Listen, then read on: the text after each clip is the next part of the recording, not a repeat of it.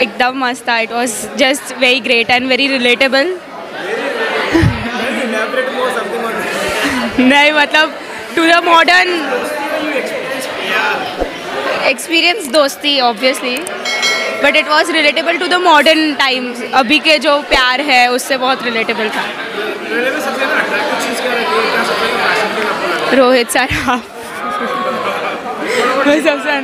वो भी बहुत सब बहुत अच्छे दिखते हैं but Rohit Saraf is just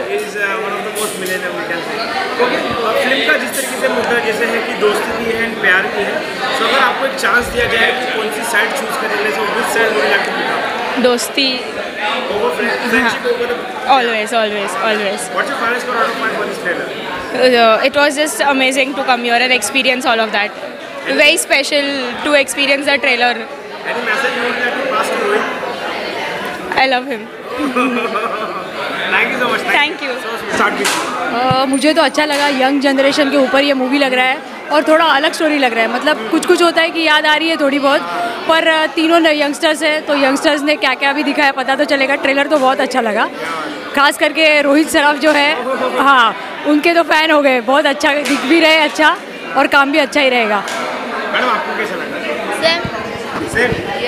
something Um, मतलब मैडम हाँ, मतलब उसमें ज़्यादा कुछ मेरे को बहुत अच्छा लगा उसका लव स्टोरी कॉमेडी काफ़ी अच्छी है उसमें।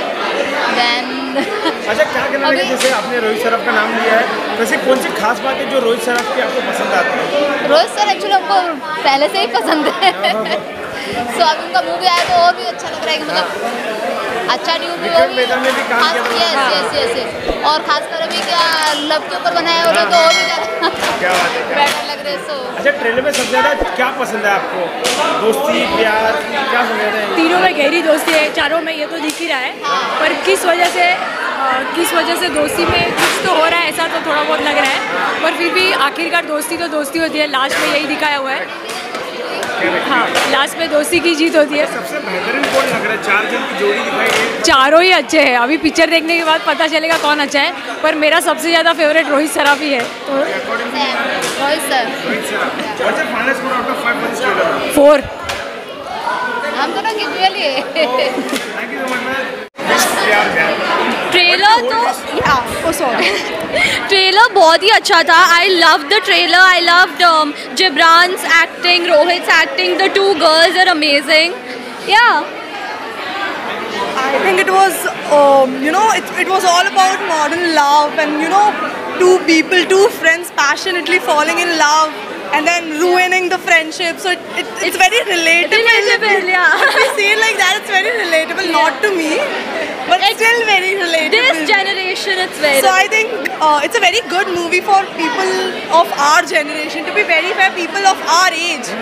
looking so I think- forward for it really Plus, I I guess it has Rohit in it, so that explains a lot why it will be a hit movie. What is the most fascinating thing or what is the most cheerable thing you are finding in the trailer? Uh, I think uh, the line where Rohit said, um, what did he say? he said no no he said uh, dosti. Mein to I think that is so um, that line was very iconic.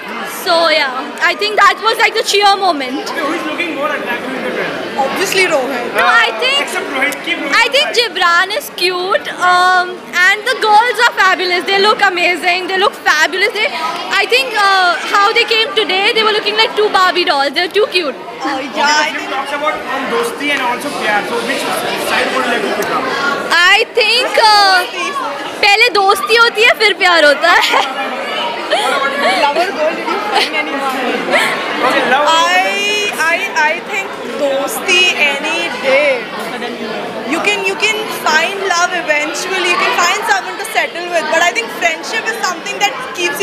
when you're bored of a relationship, you go to your friend to entertain yourself. Yeah. So I think it's friendship for me. And I think uh, only happens when you are friends first, you are comfortable with each other, and only then. What's your final score out of 5? Sorry? What's your final score out of 5 for this? I think it's more than 10, it's 100 out of 10. Yeah.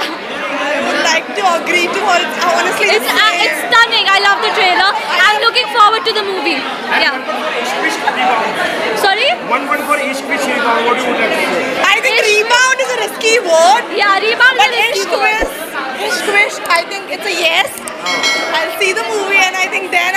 What is it all about because trailers We're very excited. We are very excited. I think first day first show. Oh, Yes. I'll catch you there. Thank you so much. Yeah, thank you. Thank you.